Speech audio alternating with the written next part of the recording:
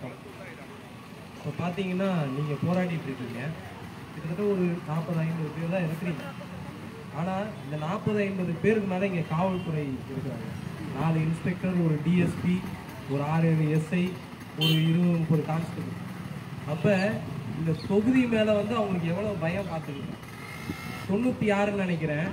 மு க ஸ்டாலின் அவர்கள் வந்து ஆயிரம் வழக்கில் தோற்று போனார். அதுக்கப்புறம் அவர் சென்னை மேயர் ஆனார் எதிர்க்கட்சி அந்தஸ்து கூட கிடைக்கல. மயிரிழையில குளத்தூர் தொகுதியில் எழுநூறு ஓட்டு வித்தியாசத்தில் ஜெயிச்சாருன்னு நினைக்கிறேன். அதன் பிறகு எதிர்க்கட்சி தலைவனாராரு அப்பயும் நீங்க தான் வாக்களிச்சீங்க இப்ப முதலமைச்சராக இருக்க நமக்கு நாமே நமக்கு நாமேன்னு சொல்லி இப்ப நம்ம எல்லாருக்கும் பட்ட நாமத்தை போட்டுட்டாரு. ஒரு பெட்டி ஒண்ணு வச்சிருக்கேன். உங்க உங்க கஷ்டத்தெல்லாம் போடுங்க. நூறே நாள்ல வந்து எல்லாத்தையும் தீர்த்து கட்டிடுறேன்னாரு. நூறு நாள்ல இரநூறு நாள் ஆயிடுச்சு. இரநூறு நாளில் தீர்த்து கட்டிட்டார். தீர்த்து கட்டிட்டார். உங்களுக்கு ஒரு வரலாறு சொல்ல நினைக்கிறேன். கேரளாவில் இதே மாதிரி பட்டா இல்லைன்னு சொல்லி இதே மாதிரி ஸ்லம் ஆனால் அந்த பகுதி மக்களெல்லாம் வந்து காலி பண்ணின்னு அந்த மக்கள்லாம் போயிட்டு உயர்நீதிமன்றத்தில் வழக்கு போடுறாங்க. அந்த வழக்கை விசாரித்தவர் யாருன்னு பார்த்தீங்கன்னா முன்னாள் உச்சநீதிமன்ற நீதிபதி அன்றைய உயர்நீதிமன்ற நீதிபதியாக இருந்தவர் கிருஷ்ணய்யர் வி ஆர் கிருஷ்ணயர் அப்போ அவரு என்னத்துக்கு பா இவங்களெல்லாம் காலி பண்ணீங்கன்னு கேட்குறாரு அப்போ இவங்களை காலி பண்ண அதிகாரிங்க இவங்களெல்லாம் பட்டா இல்லை சார். அதனால நாங்கள் காலி பண்ணிட்டோம். நோட்டீஸ்லாம் தரணும்னு அவசியம் இல்லை. அப்படின்னு சொன்னோம். அப்பா அவர் கேட்டாரு இல்லையே இவங்களெல்லாம் பட்டா இருக்குது. எப்படி சார் சொல்றீங்க? இங்க பாருங்க. அரசு ஆகணும் பட்டா கிடையாது இவங்களுக்கு. பட்டா இல்லாத புறம்போக்கு நாட்டில் இருக்கிறாங்க. அப்படின்னாரு. அப்போ அவர் சொன்னார் இல்லை இல்லை நீ அரசியலம் போய் பாரு. அதில் அம்பேத்கர் இவங்களுக்குலாம் பட்டா கொடுத்துட்டாரு. சரத் இருபத்தொன்னுல லைஃப் டு லிபர்ட்டி அதாவது வாழ் உரிமை. அதில் வந்து வசிப்பிட உரிமையும் இருக்குது. அதனால வந்து அதுபடி உங்களுக்கு பட்டா இருக்குதுன்னு. அப்போ வாழ் உரிமை இருக்கிற உங்களுக்கு எமர்ஜென்சி காலத்தில் கூட ரத்து செய்யப்பட முடியாத ஒரு வாழ் உரிமை அது அரசியலமைப்பு சட்டம் உறுதி செய்திருக்கு அதை வந்து உங்களுக்கு மறுத்துருக்குறாங்க இன்னைக்கு இந்த அரசாங்கம். நீங்கள் எல்லாம் வெளிப்படையாக சொல்லிட்டீங்க. பாலம் கட்டுறதுல எங்களுக்கு எந்த பிரச்சனையும் இல்லைப்பா கட்டிக்கோ. ஒன்றும் இல்லை மூணு பாலம் கூட கட்டிக்கோன்றீங்க. இப்போ பிரச்சனை என்னன்னா பாலத்தை தவிர ஏன்டா மற்றதை இடிக்கிறீங்கன்றது. இப்போ இங்கே உங்கள் மேலாம் ஒரு பார்வை இருக்குது ஏதோ நீங்கள் வந்து சட்டத்துக்கு விரோதமாக ஏதோ ஒரு போராட்டம் நடத்திங்கிற மாதிரி. இது சட்டத்துக்கு விரோதமான போராட்டமே இல்லை. இது சட்டப்பூர்வ போராட்டம். சட்டம் தெரியாத இந்த ஆட்சியாளர்களுக்கு இந்தப்பா சட்டம் இதான் எழுதி வச்சிருக்கு. இதுதான் சட்டம். இந்த சட்டம் மட்டும் இல்லை இதான் நியாயம். அறுபது வருஷம் வாழ்ந்துட்டேன். வரி கட்டிட்டேன். நில வரி வீட்டு வரி வாங்குற ஷாம்புக்கு வரி சீப்புக்கு வரி சோப்புக்கு வரி பெட்ரோலுக்கு வரி எல்லா வரியும் கட்டிட்டு இனி இதோ அந்த அக்கா கை குழந்தையோட உட்காந்து விடியல் விடியல்னாரு. நம்ம விடியலை காலி பண்ணுறாரு திமுகவுக்கு அட்ரஸ் கொடுத்தீங்க. இன்னைக்கு உங்களுக்கே அட்ரஸ் இல்லாத போயிடுச்சு. தான் நடந்துக்குது. அப்போது நாம் வந்து யோசிக்கணும். இப்போ நம்ம யார்கிட்ட இருந்து பாடம் கற்றுக்க போகிறோன்னா தமிழ்நாட்டோட முன்னாள் முதலமைச்சராக இருந்த அண்ணாதுரை அவர்களுக்கு ஒரு பாடத்தை கத்துக்க அவர் என்ன சொல்றாரு? ஒரு தொழிற்சாலை போராட்டம் நடத்துதுன்னா அந்த தொழிற்சாலையில இருக்கிற தொழிலாளிங்க போயிட்டு பக்கத்துல இருக்கிற கிராம மக்களையும் அந்த போராட்டத்தில் இணைச்சு கேட்கணுன்றார் அப்போ அதை அப்படியே இங்கே பொருத்தி பார்ப்போம். நாம என்ன பண்ணோம்? நாம வந்து எப்படியோ ஒரு நூறு குடும்பம் இருப்போம். நூறு குத்தனம் இருக்குமா இங்க? நூறு குத்தனம் இருக்குது இப்போ இந்த நூறு குத்தனத்துக்கு எப்படியோ உங்களுக்கு சொந்தக்காரன் பந்தக்காரன் மச்சான் பங்காளி எல்லாம் இருப்பாங்க. அப்போ நீங்கள் அவங்களெல்லாம் இந்த போராட்டத்தில் கலத்தி கேட்கணும். எல்லாருக்கிட்டையும் ஃபேஸ்புக் இருக்குது இன்டர்நெட் இருக்குது சமூக வலைதளத்தில் எல்லாரும் இருக்கிறீங்க. உங்களை சுற்றி இவ்வளோ ஜனம் இருக்குது அப்போது ஒரு சுழற்சி முறையில் நீங்கள் இவங்களை எல்லாரையும் போராட்டத்தில் கலத்தி கேட்கணும். ஒரு நாலு பேர் நீங்கள் போயிட்டு மக்களை போய் சந்திக்கணும். இப்போ நாங்கள் டீ குடிச்சிட்டு வந்தோம். அங்கேயே என்ன பேசிக்கிறாங்கன்னா பாலத்தை கட்ட விடாமல் ஜனம்லாம் வந்து தடையாக நிற்கிறாங்க இல்லை தோ ஒரு பக்கத்து தெருவில் பெட்ரோல் பங்க் எதிர்க்க டீ குடிச்சிட்டு வந்தேன் அப்போ அந்த ஜனம் வந்து உங்களை பற்றி தப்பாக பேசிடுவாங்க. அப்போ நானும் அந்த தோழரும் சொன்னோம் இல்லைங்க அவங்க பாலம் கட்டலாம் ஒன்றும் தடையாக இல்லை. அவங்க பாலம் கட்டிக்கான்றாங்க. பார்க்கு கட்டுறதுக்குலாம் இடம் எடுக்கிறாங்களா? அதான் பிரச்சனையாக இருக்குது. அப்போது உங்களுக்கு இன்னொரு அநியாயமும் நடந்தது என்ன அநியாயம்னா ஒரு குறிப்பிட்ட கால அவகாசம் கூட உங்களுக்கு தரல. நீங்கள் கேட்டது கால அவகாசம் கூட தரல. ஒரு கருத்து கேட்பு நடத்தல. இச்ச வீட்டுக்கும் துட்டு தரல. நிலத்துக்கும் துட்டு தரல. இப்போ திடீர்னு அப்படியே போனால் எப்படி போகிறது வாழ்வாதாரம் இங்கே தான் இருக்குது. உங்கள் வாழ்க்கையே இங்கே தான் இருக்குது. எவ்வளோ கனவு போட்டு கட்டியிருப்பீங்க? அந்த தோழர் கூட முழக்கம் போட்டார் தாலியை விற்று அண்டானை விற்று குண்டானை விற்று இஎம்ஐ கட்டி. ஆனால் எல்லாத்தையும் ஒரே நாளில் தூங்கி எழுச்சிக்கிறதுக்குள்ள எல்லாத்தையும் மாற்றிட்டாங்க அப்போது நாம் வந்து இந்த ஆட்சியாளர்களை நோக்கி கேள்வி வேணும் இப்போ வருவாங்க போலீஸ்காரங்களாம் வருவாங்க. நாலு நாள் பிரச்சனை. நீங்கள் இந்த போராட்டம் இந்த பேரிகார்டுக்குள்ளேயே நடக்கிற வரையும் யாருக்கும் எந்த பிரச்சனையும் இல்லை.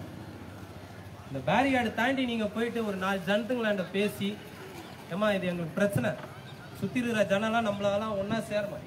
வாங்க நாளைக்கு இன்னைக்கு அவை நகர் நாளைக்கு கேகே நகர் நாளைக்கு கொல்கூர் நாளைக்கு அந்த ரயில்வே ஸ்டேஷனு எல்லாருக்கும் இதுதான் நடக்கும். நீங்கள் வந்து இந்த போராட்டத்தில் கலந்துக்கலன்னா என்ன நியாயம்? நீங்கள் பேசிட்டீங்கன்னு வச்சுக்கோங்க. மறுநாள் வந்து உங்கள் போலீஸ் வந்து உங்களை அப்ரோச் இல்லை உங்களுக்குள்ளேயே ஒரு ஆளை வந்து காயடிப்பாங்க.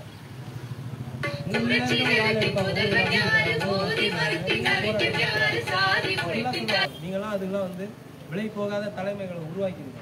அதுக்குள்ள உங்கள யாருன்னா ஒருத்தர் ஒரு போராட்ட கமிட்டியை உருவாக்கி நாம அந்த கமிட்டி தான் பேசணும். ஏன்னா நீங்க போட்ட முழக்கம்லாம் எனக்கு வந்து ரொம்ப பாவமா இருந்தது உங்களை பார்க்க சொல்ல ஏன்னா நீங்க வந்து நியாயம் நீதி தெரியாதனால போய் நியாயம் வழங்கு நியாயம் வழங்குனா என்னத்த வழங்க போறேன் ஒரே நாளை இச்சு தட்டு எல்லாத்தையும் காலி பண்ணிட்டு அட்ரஸே இல்லாத போயிட்டாங்க. ஆயிரத்தி தொள்ளாயிரத்தி எழுவதுல கலைஞர் முதலமைச்சராக இருக்க சொல்ல நகர்ப்புற வளர்ச்சி வாரியம்னு இருந்ததை தமிழ்நாடு குடிசை மாற்று வாரியம்னு உருவாக்கினார் அப்போ ஒரு உருவாக்க சொல்ல அவர் என்ன சொன்னாருன்னா இன்னும் நான் வந்து குறிப்பிட்ட பத்தாண்டுகளில் வந்து தமிழ்நாட்டில் குடிசையே இல்லாத நகரத்தை தான் நான் ஆக்கிடுவேன் சென்னையை அப்படின்னு இன்னைக்கு அவர் ஃபுல்லாக வந்து சீஃப் மினிஸ்டராக உட்காந்துக்கின்னு இன்னும் பத்து வருஷம் கேட்குறாரு எழுபது எங்க ரெண்டாயிரத்தி இருபத்தொன்னு வந்து ஒருத்தர் வந்து மறுபடியும் பத்து வருஷம் கேட்குறாரு இப்போ பத்து வருஷம் நம்ம வெயிட் பண்ணோம். இங்கே வந்து உங்களுக்கு ஒரு ப்ளஸ் என்னன்னா நீங்கள் வந்து முதலமைச்சர் தொகுதியில் வந்துருங்க அப்போது இந்த அரசு வந்து நல்லா ஆட்சி செஞ்சுன்னு வரும் இந்த ஆட்சியில் எந்த குறையும் இல்லை. இந்தியா டுடே சொல்லிச்சு ஐபிஎன் சொல்லிச்சு ஏஎன்ஐ சொல்லிச்சு. இந்தியா முழுக்க எங்கள் ஆட்சியை பாராட்டுறாங்க சீராட்டுறாங்க. இவரை மாதிரி முதல்வர் எங்களுக்கு கிடைக்க மாட்டாரான்னுலாம் சொல்கிறாங்க அப்போது முதல்வரோட தொகுதியில் என்ன பிரச்சனைன்றது நம்ம தான் சொல்ல ஸோ உங்களெல்லாம் நான் கேட்டுக்கிறது என்னன்னா இந்த போராட்டத்தை மக்கள் வயப்படுத்தணும் நீங்கள் மட்டும் போராடினா தீர்வே கிடைக்காது. உங்கள் சொந்தக்காரங்களாம் இந்த போராட்டத்தில் கழட்டிக்க வைங்க சுற்றி இருக்கிற மக்களுக்கெல்லாம் உங்கள் நியாயத்தை புரிய வைங்க நீங்கள் பாலம் கட்ட தடையா இல்லைன்னு முதல்ல அவங்களுக்கு புரிய வைங்க நீங்கள் முறையான கோரிக்கைகள் வைங்க. உங்களுக்குள்ளே ஒத்துமையாக இருங்க. நாளைக்கு வந்து என்ன வேணாலும் சொல்லுவாங்க. கேஸ் போட்டுருவான்னு பயமுறுத்துவாங்க. ஜெயிலில் அடிச்சிடுவான்னு பயமுறுத்துவாங்க. திடீர்னு நைட்டோட நைட்டாக வந்து அப்புறப்படுத்துறேன்னு அதுக்கெல்லாம் அச் அச்சப்படவே கூடாது. இருக்கிற நிலமே போயிடுச்சு. இழக்கிறதுக்கு எதுவுமே இல்லை. எல்லாருக்கும் அடிப்படை நிலம் தானம்மா. வீடு தானே. அதுவே போயிட்ட பிறகு இதுக்கு மேலே என்ன இருக்குது போடு புழல் தான் அங்கேயே குடுத்தனம் பண்ணிக்கிறோம். நான் சொல்கிறது நான் சொல்கிறேன் சரிதானே? நான் எதுவும் உங்களை தூண்டுலாம் இல்லை நான் நியாயத்தை தான் பேசுகிறேன் உங்கள் பக்கம் இருக்கிற நியாயத்தை தான் பேசுகிறேன் எனக்கு பார்த்தா பாவமாக நீங்கள் அவங்ககிட்ட நியாயத்தை எதிர்பார்க்குறீங்க. மாற்று குடியிருப்பு தரல. மாற்று மாற்று நீங்கள் யோசிக்கல. உங்களாண்ட வந்து பேசலை. ஃபுட்டு தரல. எதுவுமே தரல. எதுவுமே தராத நைட்டோட நைட்டாக இப்படி இஷ்டு போனால் என்ன நியாயம்? எத்தனை பேர் இங்கே எல்லாரும் டிஎம்கேக்கு தானே ஓட்டு போட்டுருக்கீங்க? எல்லாரும் பார்த்தாலே தெரியுது. எல்லாரும் டிஎம்கேக்கு தான் ஓட்டு போட்டுருக்கீங்க. அதனால தான் இவ்வளோ பாசமாக கோரிக்கை வைக்கிறீங்க. புண்படாமல் பேசுகிறீங்க பார்த்து பக்குவமாக பதமாக புண்படாமல் பேசுகிறீங்க புண்படாமல் பேசுங்க. நம்ம மேட்ரு சக்சஸ் ஆகுதா? அதான் வேணும். இப்போ நம்மளுக்கு வாழ்வாதாரமே போயிட்டு அடிப்படையே வந்து ஆட்டம் கண்ட பிறகு பேஸ்மெண்ட்டே காலி பண்ணிட்ட பிறகு இதுக்கு மேலே நம்ம வந்து இப்போ ரொம்ப அன்பாக பக்குவமாக குணமாக வாயில் சொன்னால் கேட்க மாட்டாங்க. அப்போ நம்ம போராட்டத்தை இன்னும் பலப்படுத்தணும் இன்னும் நீங்களாம் வந்து ஒரு பத்து நாள் வேலைக்கு எல்லாம் கடை கிடலாம் லீவ் போட்டு இது ஸ்ட்ரென்த்து பத்தாது. இந்த ஸ்ட்ரென்த்தை இன்னும் அதிகரிக்கணும். இந்த ஸ்ட்ரென்த்தை இன்னும் ஜாஸ்தி படுத்தணும் காலேஜ் ஸ்டூடெண்ட்ஸு ஸ்கூல் ஸ்டூடெண்ட்ஸு எல்லாம் உங்கள் உங்கள் ஃப்ரெண்ட்ஸுக்கு ஃப்ரெண்ட்ஸுங்களாண்ட போய் சொல்லுங்கள் உங்கள் உங்கள் சொந்தக்காரங்கிட்ட போய் சொல்லுங்கள் பேம்ப்ளேட் அடிச்சு எல்லாருக்கும் விநியோகிங்க. நாலு நாலு பேர் போயிட்டு சொல்லுங்கள் இது சுற்றி இருக்கிற ஜனம் பக்கத்தெருவுக்கே உங்கள் கோரிக்கை என்னன்னு தெரியல. அப்போ நம்ம ரொம்ப வீக்காக இருக்கிறோம். தயவு செஞ்சு இதிலலாம் வந்து நம்ம வந்து கவனம் செலுத்தி நாம் வந்து விலை போகாத தலைமையை தலைமையை உருவாக்கி நம்ம விலை போகக்கூடாது நம்மளேருந்து ஒரு நாலஞ்சு பேரை காயின் பண்ணுவாங்க. குறிப்பாக சொல்லணும்னா முழக்கம் போடுற அக்காங்களை மட்டும் கூப்பிடுவாங்க. அப்போ எல்லாரும் முழக்கம் போடுங்க மாறி மாறி முழக்கம் போடுங்க ஒருத்தரை மட்டும் ஃப்ரெண்டில் நிப்பாட்டாதீங்க. இதெல்லாம் பண்ணுவாங்க. ஏன்னா இவர் தோழர் சொன்ன மாதிரி அந்த இசையர் இருக்கிறாருல அவர் அச்சு வாய்களாம் வச்சிட்டாங்க சத்யவாணி முத்து நகரில் போயிட்டு இடிகிரி ஏன் இடிகிரின்னு கூட கேட்கல போய் போட்டா தான் எடுத்தாரு. மோகன்தாஸ்னு ஒரு இன்ஸ்பெக்டர் அச்சு ஒரே அடி. வாயிலாம் வந்துச்சு புள்ளியாந்தப்பில் கேட்டால் எங்களுக்கு அடி. கேட்டா அடி தான் ஒருத்தனா கேட்டா அடி. பத்து பேரா கேட்டா வாங்க பேசலான்னு நூறு பேரா கேட்டா கேட்டு தான் ஆகணும். நீங்க நூறு கொடுத்தனா ஆயிரம் பேர் இங்க இருக்கணும். பத்து நாள் லீவ் போட்டு இங்கே உட்காருங்க. ஃபர்ஸ்ட் மீடியா செய்தி ஆக்குங்க. சரிங்களா? அதனால உங்க போராட்டத்தை எந்த அளவுக்கு பலப்படுத்த முடியுமோ பலப்படுத்துங்க. குணமா வாயில சொல்லி பார்த்துட்டீங்க. அடுத்து என்ன பண்ணணுன்றது நீங்களாம் கூடி முடிவெடுங்க. எங்களை போன்ற அமைப்புகள் உங்களுக்கு கண்டிப்பாக உறுதுணையாக இருக்கும். நாங்கள் வந்து மற்ற இயக்கங்கள் மாதிரிலாம் இருக்க மாட்டோம். அதுக்கு முன்னாடி எங்கள் கூட்டமைப்போட வரலாறு சொல்லிடுறோம் செப்டம்பர் அஞ்சாம் தேதி வந்து இந்த ஆ- ஆட்சியாளர்கள் வந்து செப்டம்பர் ஒன்றாந்தேதி தேதி வீட்டு வசதி வாரிய கோரிக்கை வைக்க சொல்லும். மெயின்டெனன்ஸ் கிடையாது.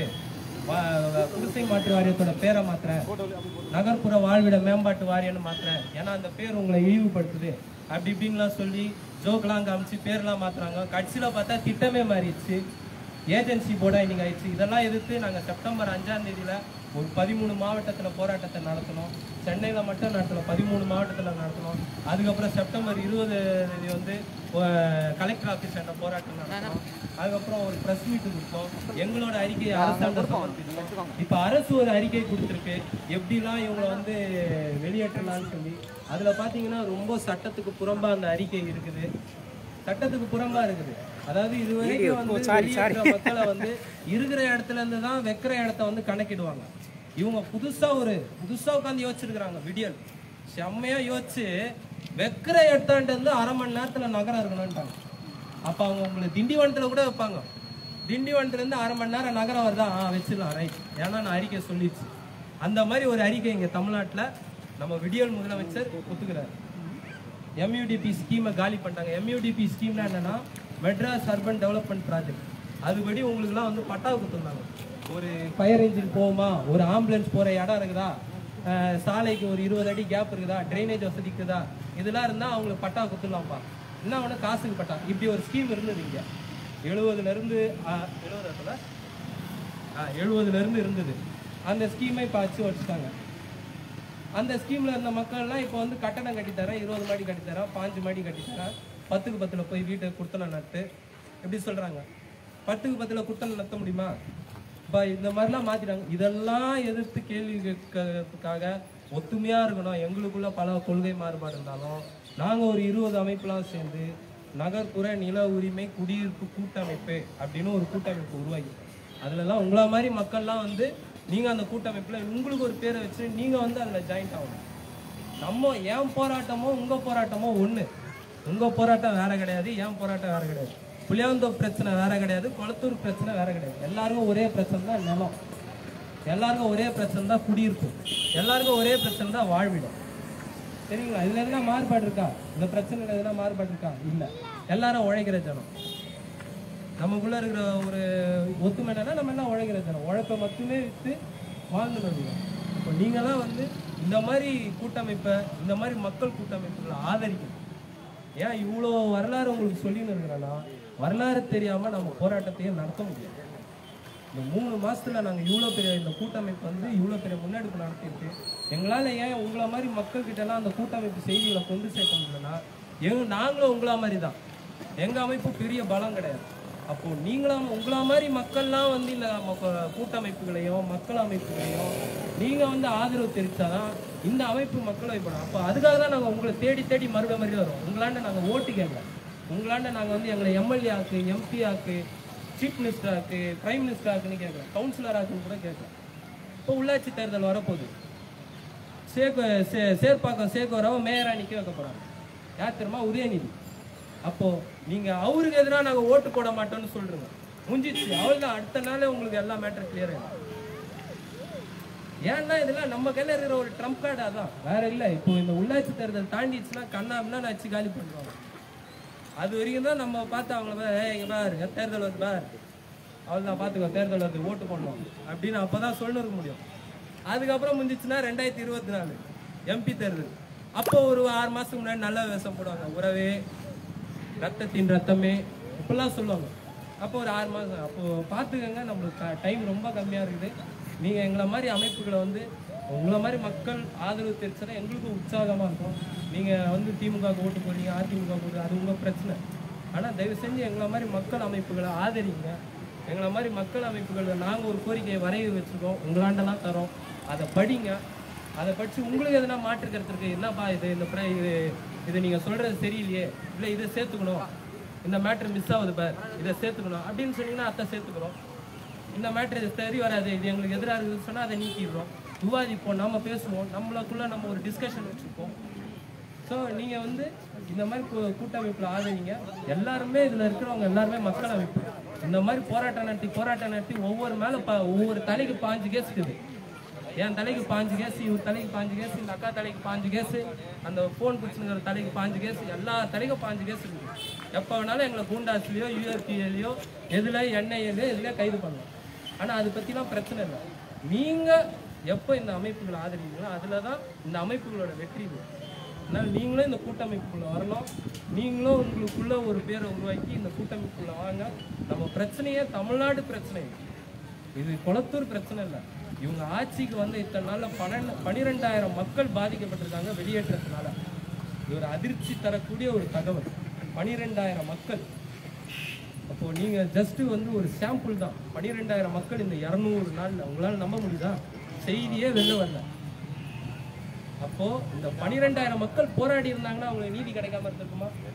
நியாயம் கிடைக்காம இருந்தது போராடணும். எப்படி போராடினா கொளத்தூருக்குள்ளேயே அவை நகருக்குள்ளேயே அவை நகர் ரெண்டாவது தெருக்குள்ளேயே போராடணும். அப்ப நம்ம எப்போ போராட்டம் பெருசாகும் அவை நகருக்கு வெளியே குளத்தூருக்கு வெளியே சென்னைக்கு வெளியே தமிழ்நாடுக்குள்ள போராடினா தான் நம்ம போராட்டம் வெற்றி அடையும். நமக்குள்ள ஒரு ஒத்துமை வரும். அந்த ஒத்துமையை வலியுறுத்தி என்ன பேச்சை நான் முடிச்சுக்கிறேன். தயவு செஞ்சு உங்களுக்குள்ள ஒத்துமையா இருங்க. நாம நீங்க வந்து எங்களை மாதிரி கூட்டமைப்புகளை ஆதரிக்கணும். நமக்குள்ள வேற பிரச்சனை இருந்தால் அதை பின்னாடி பேசி தீர்த்துப்போம் திமுக ஆதரிக்கிறதா அதிமுக ஆதரிக்கிறதா அதெல்லாம் பின்னாடி பார்த்துப்போம். முதல்ல நம்ம நாம ஆதரிச்சுப்போம். நான் உங்களை ஆதரிக்கிறேன் நீங்கள் என்ன ஆதரிங்க? என் வீட்டுக்கு என் நிலத்துக்கு நீங்கள் என்ன ஆதரிங்க? உங்கள் நிலத்துக்கு நான் உங்களை ஆதரிக்கிறேன். நம்மளாம் இணைஞ்சு போகிறோம் நன்றி.